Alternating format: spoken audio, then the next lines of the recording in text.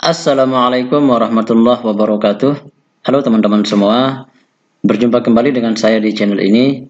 Di video kali ini saya akan berbagi tutorial tentang Cara mudah mengecilkan ukuran dokumen Microsoft Word ya. Dan langkah ini jarang diketahui oleh orang-orang ya. Dan kalaupun ada yang tahu saya ucapkan selamat ya. Berarti Anda luar biasa. Nah di sini saya memiliki dokumen laporan kegiatan seperti ini ya. Ini ukurannya 1,420 KB ya. Kita klik kanan, cek ukurannya lagi, pilih properties. Nah, di sini dia ukurannya 1,38 MB ya. Nah, kita akan kecilkan ukuran ini menjadi lebih kecil dari ukuran ini. Karena biasanya kalau kita mengirim data, biasanya ada permintaan sekian, sekian, sekian ukurannya. Nah, bagaimana mengecilkan ukuran dokumen Microsoft Word ini dengan cepat? Langkahnya sangat mudah sekali. Tapi sebelum lanjut, saya beritahukan bagi teman-teman yang baru menemukan channel ini, jangan lupa klik tombol subscribe dan aktifkan loncengnya supaya tidak ketinggalan video-video menarik lainnya.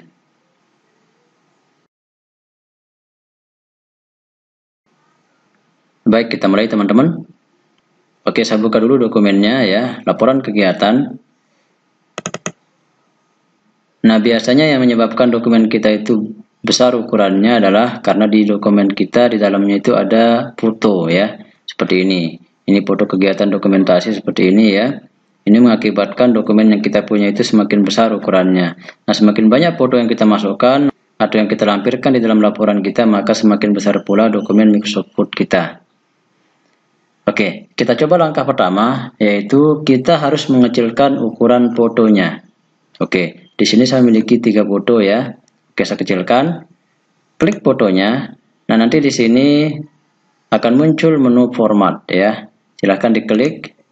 Terus di sini ada tampilan seperti ini ya. Silahkan klik yang ini ya. Compress picture. Ini biasanya kalau di versi yang lebih bawah dari Microsoft Word 2016 ini dia muncul tulisannya compress picture. Di Microsoft Word 2007, 2010 dia biasanya ada muncul tulisan compress picture. Oke, silahkan diklik ya. Nah, akan tampil seperti ini. Silahkan klik yang email ya. Ini akan dikecilkan menjadi 96 ppi ya. Ini kita klik OK. Oke, di bawah juga sama. Kita klik ini ya. Ini juga sama. Oke.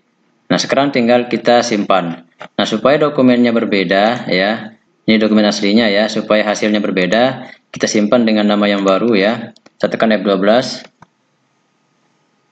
Oke, kita buat di sini menjadi laporan kegiatan 2. Oke ya. Kita klik save. Oke, saya tutup. Kita cek hasilnya. Nah, hasilnya dia menjadi satu 41 kilobyte. Ya kita klik kanan. Ini 140 kilobyte ukurannya ya. Berbeda dengan yang dokumen aslinya. Kalau ini 1,4 megabyte ya. Ini. Sorry teman-teman. 1,38 megabyte ya ukurannya. Jadi langkahnya berhasil. Kita mengecilkan dengan menggunakan langkah pertama. Oke kita coba langkah kedua yaitu kita menyimpannya dengan format PDF Oke, kita buka dokumen aslinya ya, yang ini. Oke, tampilannya masih sama kayak tadi ya. Oke, kita simpan dengan menggunakan format PDF. Saya tekan F12. Langkah ini biasanya berfungsi di Microsoft Word 2010 sampai versi yang lebih tinggi ya. Atau kalau teman-teman di Microsoft Word 2007 sudah diinstalkan fitur tambahan untuk PDF juga bisa menggunakan langkah ini ya. Oke, kita klik yang di sini si pas tipenya kita pilih PDF ya. Oke. Yang ini ada dua pilihan, ada yang standar eh, dan ada yang minimize size. Kita coba yang standar, nanti kita coba lihat perbedaannya ya. Silahkan teman-teman tinggal dipilah nanti ya. Oke, saya klik yang standar. Kita tentukan lokasinya di sini ya, sama kayak tadi. Kita pilih zip. Oke, nama filenya sama ya. Laporan kegiatan. Oke, saya tutup dulu. Nah, sekarang kita coba simpan dengan yang minimize. Saya tekan F12. Saya pilih PDF ya. Nah, ini yang tadi kita buat. Sekarang saya buat dokumen 2 ya, biar ada perbedaannya. kita pakai tipe yang minimize oke saya klik save oke sudah muncul hasilnya saya tutup ini juga saya tutup oke kita lihat perbedaannya oke yang pertama tadi yang standar yang ini ya dokumen aslinya ukurannya 1,420 KB ya setelah kita simpan dengan format PDF dengan mode standar ya, dia menjadi 484 KB. Kita menggunakan langkah kedua dengan kita pilih minimize ya, dia menjadi 174 KB. Jadi langkahnya berhasil. Kita coba buka. Hasilnya tetap bersih seperti ini ya. Itu kita kecilkan. Kita coba buka yang kedua. Ini yang lebih besar ya. Nah,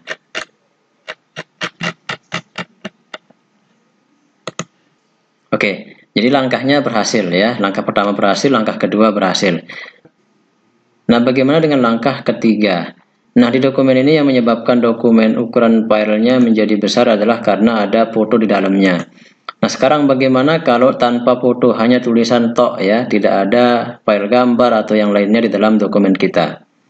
Oke, saya coba buka dokumen baru ya. Kita buka dulu. Oke, sekarang saya coba membuat dokumen bebas ya, sebagai random seperti ini. Ini ya, misal saya pakai 100 ya. 9 seperti ini saya tutup, saya enter. Nah, dia sudah menjadi 15 lembar. Ini semuanya murni menggunakan tulisan, tidak ada tidak ada file gambarnya. Oke, saya simpan dulu ya. Pilih save as. Oke saya simpan dengan nama. Oke saya simpan di musik. Ya sama kayak tadi dengan nama yang lain percobaan. Oke namanya ini teman-teman ya. Save as tipe nya saya pakai Word 2097 sampai 2003 ya. Saya klik save oke sekarang saya tutup kita buka oke yang percobaan ini yang kita buat tadi ya. Anggaplah ukurannya ini kita mau kecilkan kembali ya. Oke. Saya buka lagi dokumennya. Oke, kemudian saya simpan kembali. Tekan F12. Nah, nanti di sini silahkan rubah save as tipe-nya menjadi Word dokumen atau menggunakan ekstensi aslinya. Kalau menggunakan Microsoft Word 2007, pilih yang paling atas.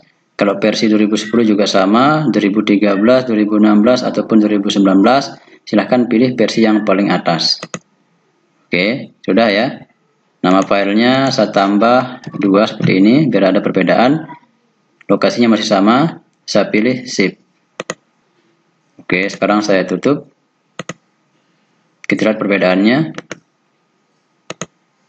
Nah, jadi muncul seperti ini. Kalau file aslinya dia 1,7 KB, kalau file yang sudah kita kecilkan dia menjadi 15 KB. Nah, kalau yang pertama dia ekstensinya dia Word 97 sampai 2003. Kalau yang kedua ini Microsoft Word dokumen menggunakan ekstensi aslinya.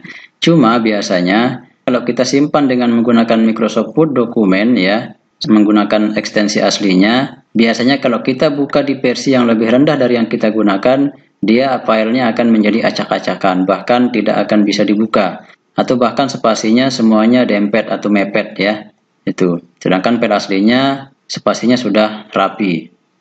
Nah, berbeda dengan kita menyimpan dengan Microsoft Word 97 sampai 2003. Kalau kita simpan dengan versi ini, mau kita buka di versi yang lebih tinggi atau versi yang lebih rendah atau lebih bawah dari yang kita gunakan, semuanya bisa dibuka ya. Spasinya rapi tanpa ada yang berubah.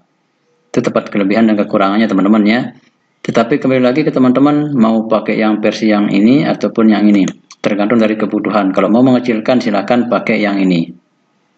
Oke saya buka lagi dokumen yang pertama yang ini ya. Yang ukuran aslinya 1,420 KB ya. Saya buka kembali oke sebagai tambahan ya kalau teman-teman tidak mau pusing dengan dokumen yang ada di sini bisa juga dengan mengecilkan ukuran fotonya langsung. Nah, tetapi masalahnya kalau fotonya sudah kita masukkan di di dalam dokumen Microsoft Word dan kita tidak menyimpan foto aslinya, maka langkahnya bisa menyimpan kembali foto yang sudah kita masukkan ini ke dalam format JPEG atau JPG. Tetapi ini berlaku bagi Microsoft Word di atas 2007. Oke, saya klik kanan, pilih Save As Picture. Ya, teman-teman. Oke, saya simpan di memusik seperti ini. Saya pakai nama filenya satu. Di sini akan muncul Save As tipe-nya. Kita pilih JPEG. Nah, kalau di Microsoft Word 2010 di sini akan muncul PNG. Karena di sini hanya pilihannya JPEG, kita pilih yang ini. Kita pilih Save. Ini juga kita pilih, klik kanan, pilih Save As Tip. Pakai gambar dua. Di, kita taruh di, di musik, pilih Save. Gambar tiga juga, kita klik kanan, pilih Save As Picture. Gambar tiga, simpan di musik. Nama filenya JPEG ya, kita pilih Save. Nah ini foto yang sudah kita simpan tadi ya, saya buka. Nah ini foto pertama, foto kedua, foto ketiga. Oke, sekarang kita kecilkan dia dengan menggunakan aplikasi bawaan dari Microsoft Office. Kita klik kanan, pilih Open With, kemudian pilih Microsoft Office Picture Manager. Nah, akan muncul tampilan seperti ini. Silahkan pilih Edit Pictures, ya. Oke, tampil di sebelah kanan beberapa pilihan. Silahkan pilih Resize. Nah, di sini fokus kepada persentasenya yang ini teman-teman ya. Ini, originalnya dia 1280 kali 720 pixel. Ini kita kecilkan dengan kita menentukan di sini, di sini berapa persen maunya kita. Misal kita pakai 90 persen, dia akan kurang seperti ini. 80 persen juga bisa, ya. 70 persen juga bisa. Nah, dia akan turun ukurannya. Ya, atau pakai 50% juga bisa. Kita cek, klik OK. Nah, kemudian kita save. Oke. Kita coba foto kedua, klik kanan, open with. Sama kayak tadi ya, 50%, klik OK. Kita pilih save. Oke, sekarang foto yang ini kita ganti teman-teman ya. Oke, saya hapus dulu. Ini juga saya hapus, saya hapus. Oke, kita masukkan tiga-tiganya. Kita copy, tekan Ctrl C. Kita masukkan di sini. Oke. Oke, sudah. Selanjutnya tinggal kita simpan. Tekan F12. Oke, kita simpan dengan nama tiga di sini ya biar jelas perbedaannya kita pilih save oke sudah sekarang kita tutup refresh oke. Ini yang sudah kita buat tadi ya. File aslinya ini ini yang kita buat tadi. Yang ini yang kita simpan dengan nama 3 jadi jauh sekali perbedaannya kalau ini 1,4 kalau ini 259 kilobyte. Nah kalau yang sudah kita rubah juga bisa seperti ini. Intinya semuanya sama. Mau langkah pertama, langkah kedua, langkah ketiga, ataupun menggunakan langkah tambahan ini. Silahkan teman-teman coba, silahkan praktekkan, dan mudah-mudahan video ini bermanfaat. Dan kalau teman-teman suka dengan video ini, silahkan di-share ke teman-teman ya, berikut dengan linknya, supaya semua bisa mendapatkan manfaat dari video ini. Dan saya beritahukan kembali bagi teman-teman yang baru menemukan channel ini, jangan lupa klik tombol subscribe dan aktifkan loncengnya supaya tidak ketinggalan video-video menarik lainnya. Sekali lagi terima kasih. Kita bertemu di tutorial berikutnya. Wassalamualaikum warahmatullahi wabarakatuh.